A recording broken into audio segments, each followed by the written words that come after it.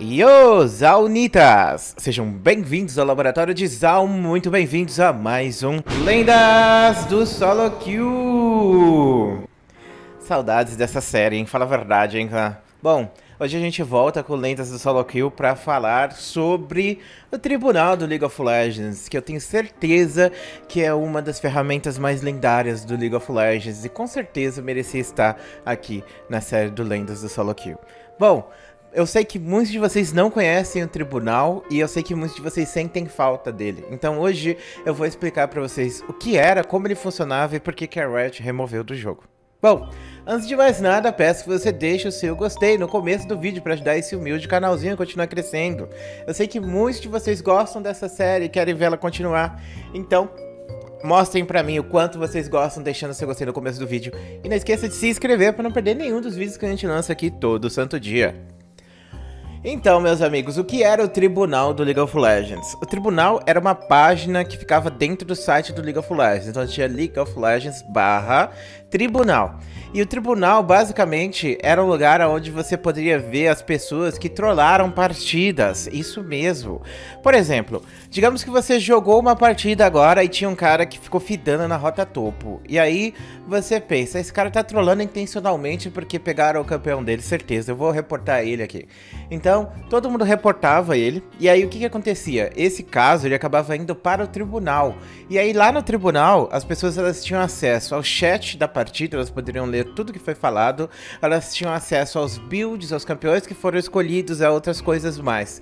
Então, você ficaria olhando lá as páginas, né? Cada página era uma, uma partida que o cara foi reportado. Então, digamos que ele foi reportado em cinco partidas pela mesma coisa, e em todas as partidas ele fez várias botas. Aí você analisa e aí você pode dar uma punição para ele ou não. Se você punir ele, né? E aí, tipo, outras pessoas forem lá e punirem ele também, e no final do, do tempo da, do julgamento dele, a maior parte das pessoas terem votado para a punição, esse cara é banido do League of Legends e você ganha uma pontuação. Aliás, você ganha uma pontuação, você ganhava, né? E é, pontos de influência, que antigamente era pontos de influência, hoje em dia é essência azul. Então, basicamente, se você tivesse votado para banir um jogador e esse jogador fosse banido mesmo, aí você ganhava lá uns pontinhos de essência azul para você comprar coisas dentro do jogo, né? Se você estivesse acertando, fazendo a justiça, digamos assim, né?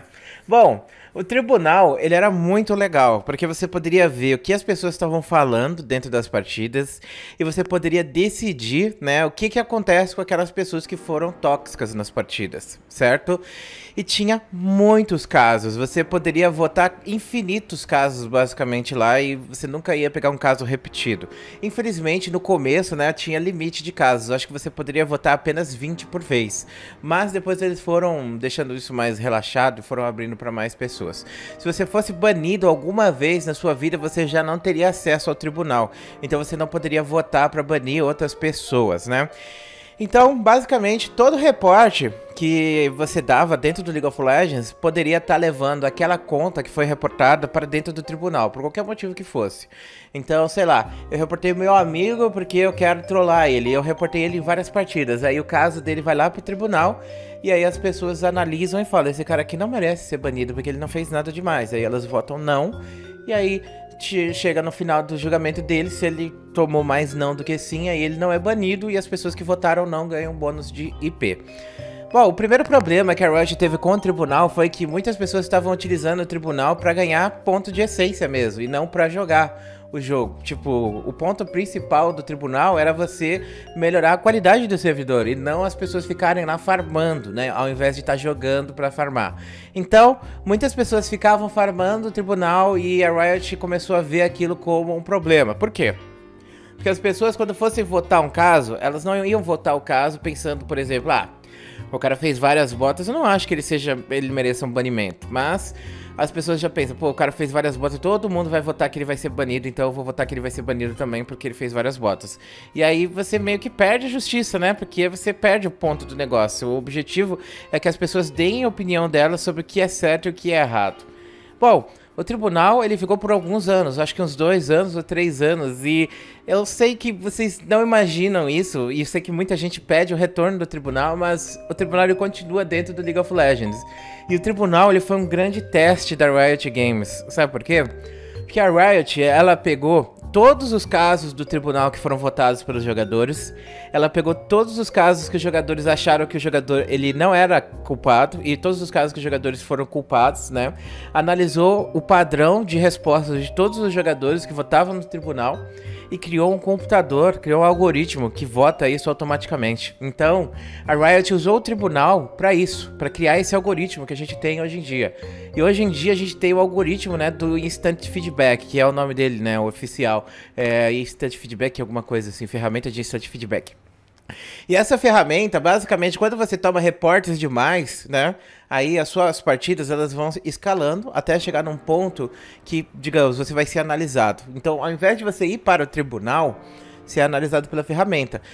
E a ferramenta se baseia nas escolhas que os jogadores deram, né? Para o que é certo e o que é errado e as palavras que a Riot julga que, que são ruins ou não e também aprende, né? Conforme as pessoas vão reportando certas coisas, a ferramenta ela vai evoluindo para pegar e to tornar aquelas coisas coisas tóxicas que vão levar jogadores a serem punidos futuramente. Então, a ferramenta ela age instantaneamente. O tribunal, por outro lado, ele não era tão bom. As pessoas tinham a impressão que o tribunal era maravilhoso porque ele bania os jogadores. De fato, ele bania. Só que tem um problema. Pense só, o cara, ele trollou uma partida no começo do mês. E aí tá, foi uma partida estacou lá para os casos do tribunal. Aí, conforme ele foi jogando, na metade do mês ele já tinha cinco partidas estacadas. E aí ele foi pro tribunal. No tribunal, o tempo que tinha de julgamento era uma semana. Então, durante essa semana inteira que ele tava ali no tribunal, ele tava jogando também. E aí, digamos que o pessoal decidiu que ele vai ser banido. Até ele ser banido, ele tem que ser revisado pela Riot. A Riot tem que ver o, a decisão que o tribunal tomou, ver se tá certo, se não foi uma decisão troll. Sei lá, o cara tipo, não tem motivo nenhum para ser banido e a galera quis trollar ele, quis banir ele, digamos assim. A Riot vai, revisa o caso e dá o banimento ou não dá o banimento. Então, pense só o tempo. Você basicamente começou a trollar no começo do mês e até você ser banido, você só vai ser banido no final do mês. Sendo que na segunda semana você já foi julgado e já decidiram que você é, é o cara culpado do que você está fazendo. Mas mesmo assim, até você ser banido, vai ter uma semana até as pessoas decidirem, né? Mesmo que tenha 90% de votação, tem que esperar a votação terminar. E depois a Riot ainda tem que olhar. E isso também vai levar tempo. E aí, depois disso tudo, você finalmente estará banido do League of Legends. Até lá, o cara já trollou o mundo todo. O League of Legends já se tornou o lugar caótico que sempre foi. Só que agora com o novo sistema, você basicamente, né, você tem o feedback instantâneo. Então, no momento que o cara começou a ser reportado e ele começou a estacar partidas e chegou no ponto que a conta dele vai ser analisada pelo sistema da Riot, ele já vai ser banido instantaneamente. Então, o próprio sistema vai dar o banimento. Qual seria o banimento? 7 dias, 14 dias, permanente? Ou será que só simplesmente tirar o chat do cara? Por outro lado, é muito difícil analisar trolls, né? Que é a grande coisa que a galera fica reclamando. Ah, você pode banir o cara porque falou coisa no chat que foi tóxico e tal, mas você não consegue banir o cara que trola a partida, que faz várias bots e coisas do tipo, porque o próprio programa não tem como analisar. Isso, de fato, quem teria que analisar seria o próprio tribunal. Por quê? Porque lá você teria como ver o que o cara fez na partida, né? E entender o que, que ele estava tentando fazer. Porque às vezes o cara tá tentando jogar e ele simplesmente é muito ruim, ou às vezes ele simplesmente tá trolando mesmo. Uma coisa que eu gostava do tribunal é que ele pegava até partida custom. Eu lembro lembro que antigamente o Aran, né? O Aran que você joga hoje em dia lá na ponte, aquele Aran não era tipo um modo de jogo. Ele era um modo de jogo que as pessoas jogavam no custom. Então você basicamente tinha que confiar que as pessoas iam respeitar. Você colocava para ser todo mundo aleatório e você falava que só poderia ir na rota meio. Então ninguém poderia ir para a selva, ninguém poderia ir para a rota inferior. E o que acontecia? Muitos jogadores ficavam trolando o Aran e eles ficavam na selva, ficavam na rota inferior, acabavam com as partidas basicamente. Eles tomavam reporte dos jogadores que estavam querendo jogar a sério o Aran. E aí acabava no tribunal esses casos desses jogadores, né, que trollavam o modo Aran. Isso é interessantíssimo. No final das contas, Riot acabou adicionando o Aran no jogo, né? Como um modo mesmo. Colocou lá a ponte do, do tutorial, colocou ela oficial como modo de jogo e até hoje a gente tem o Aran como um dos jogos mais populares do League of Legends. Mas o tribunal, infelizmente, ele foi só um teste mesmo, cara. E eu sei que muita galera sente falta, eu sinto também, mas a gente tem que admitir que o novo sistema do League of Legends é muito melhor do que o antigo. E eu digo isso para vocês porque eu vivi várias épocas do LoL e na terceira e quarta temporada o League of Legends era um jogo extremamente tóxico, muito mais do que hoje ele é. Muito mais mesmo. a qualidade dos jogadores era muito inferior. Agora, com o novo sistema, pelo menos a gente tem, né, esses banimentos de toxicidade. Isso é uma coisa que melhora bastante. Bom, e aí, eu pergunto para você, você sente falta do tribunal? Sente falta daqueles sites de pérolas do tribunal? Você gostaria que o tribunal voltasse de alguma maneira, ou sei lá, só for fun mesmo?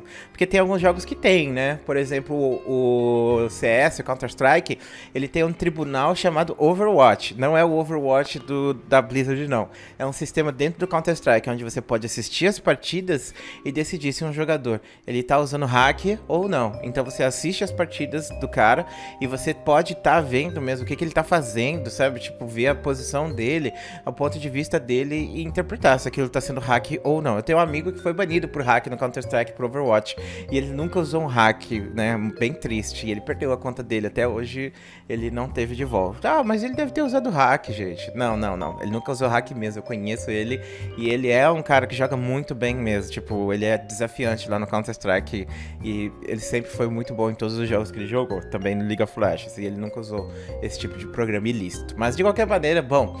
Eu espero que você tenha gostado desse vídeo. Um grande beijo, um grande abraço e até depois.